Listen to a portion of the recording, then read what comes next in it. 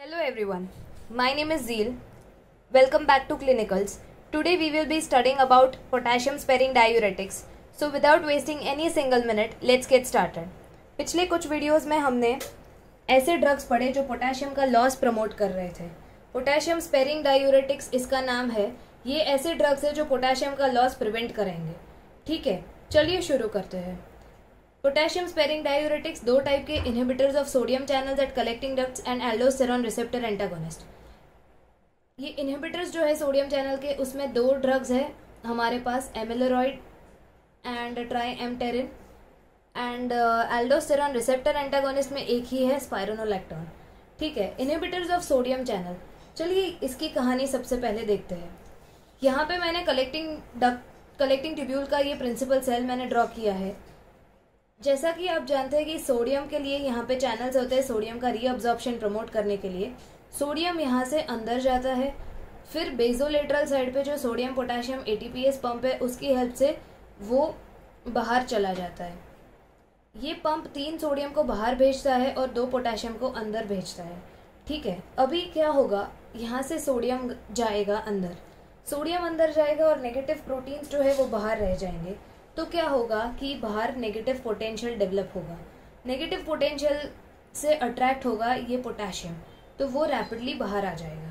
ठीक है? ये एक रीज़न है पोटेशियम का एक्सक्रीशन या पोटेशियम का सिक्रीशन होने का।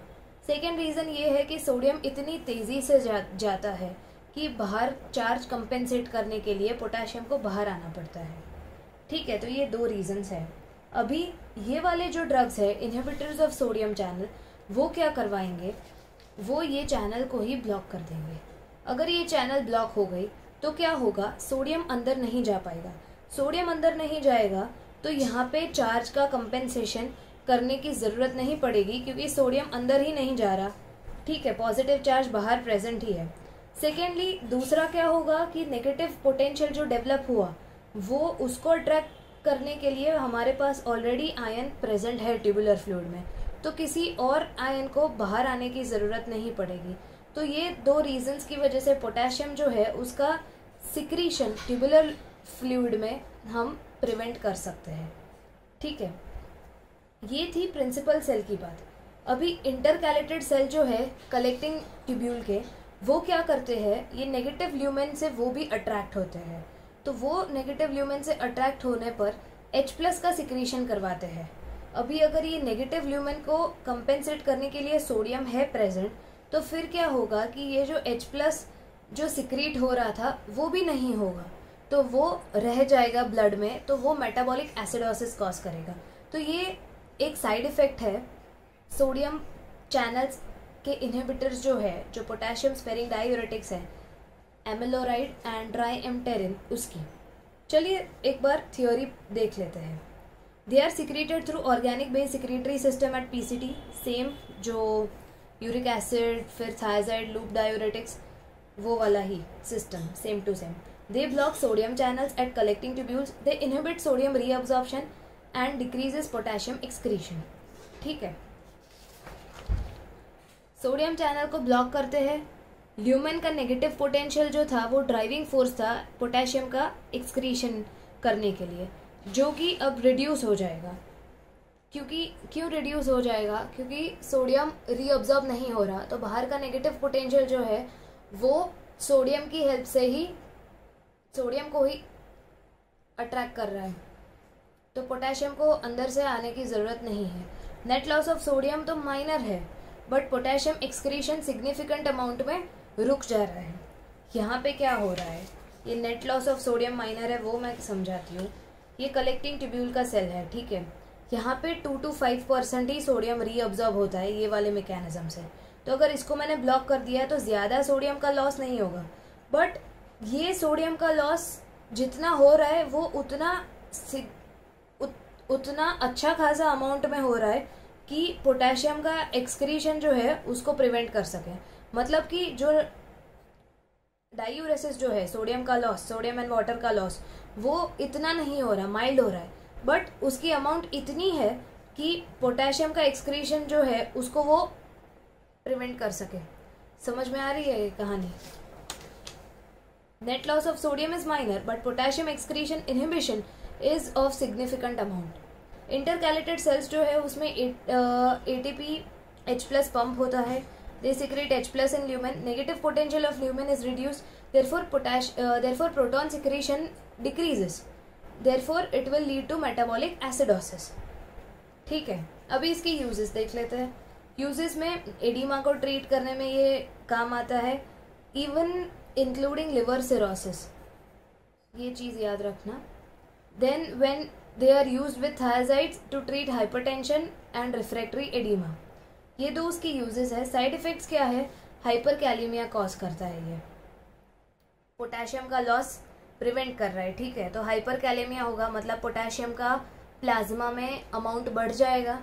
तो एक साइड इफ़ेक्ट क्या है इसकी? हाइपर कैलेमिया जब अगर कोई पर्सन पोटेशियम के सप्लीमेंट्स ले रहा है, बाहर से वो ऑलरेडी पोटेशियम ले रहा है तो उसमें तो और ज़्यादा कंडीशन सीवियर कर देगा हाइपर कैलेमिया तो हमें ध्यान रखना है कि they should not be given with ACE inhibitors and potassium supplements ठीक है? Second side effect is nausea dizziness muscle cramps vomiting okay तो ये पूरा था सोडियम चैनल ब्लॉकर्स जो थे एमेलोराइड और ट्राई एमटेरिन उसके ऊपर।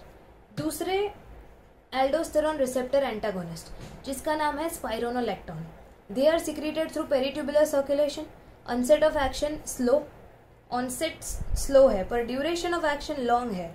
क्यों लॉन्ग है? क्योंकि ये एक्टिव मेटाबोलाइट सिक्रीट करते हैं। एक्टिव मेटाबोलाइट इनका होता है। मेटाबॉलिज्म होने के बाद जो बनता है, उसको मेटाबोलाइट कहते हैं। वो भी इनका एक्टिव होता है। तो उसका नाम है कैनरेनॉन ठीक है? Mainly excreted through urine but also through bile enterohepatic circulation ये उसका इंट्रोडक्शन था। अभी उसका मैकेनिज्म ऑफ़ एक्शन समझते हैं। कैसे काम करता है? तो एल्डोस्टेरॉन जो हार्मोन है, वो उसके रिसेप्टर्स हैं मिनरलोकॉर्टिकॉइड रिसेप्टर वो उसके रिसेप्टर से अटैच होके एल्डोस्टेरॉन इंड्यूस प्रोटीन्स का फॉर्मेशन करवाता है. ठीक है? इसके रिसेप्टर साइटोप्लाज्म में भी होते हैं और डीएनए पे डीएनए में भी होता है.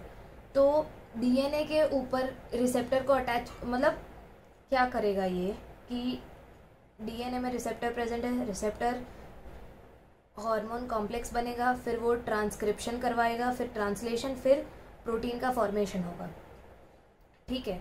ये प्रोटीन्स जो है, इसका नाम है aldosterone induce proteins they increase sodium reabsorption and potassium secretion aldosterone की ये जो प्रोटीन्स है, वो क्या करवाते हैं? तो ये सपोज़ सेल है कलेक्टिंग ट्यूब्यूल का।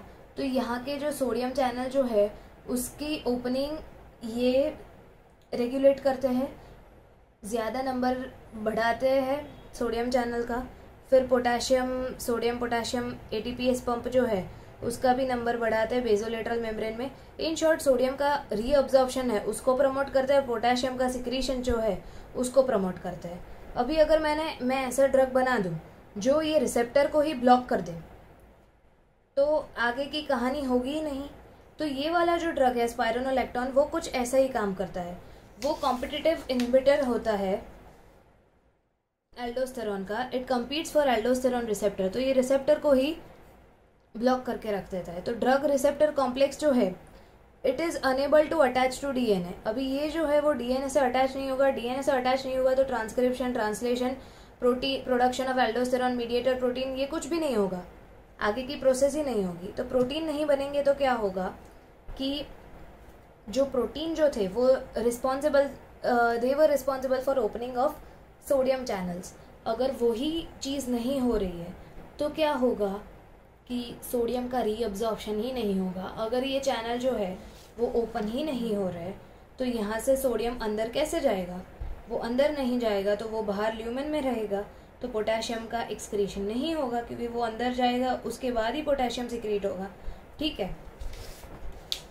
सो so, यहीं पे मैंने यहाँ पे यही लिखा है मैंने कि A I P is responsible for opening of sodium channels inhibit sodium reabsorption decreases potassium secretion uses इसके भी oedema hypertension hypokalaemia condition C H F congestive heart failure में दे सकते हैं. साइड इफ़ेक्ट यह इसका भी वही है कि हाइपर कैलेमिया कॉज कर रहा है.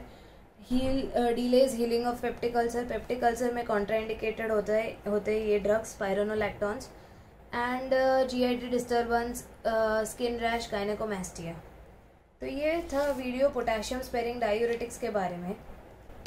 Thank you so much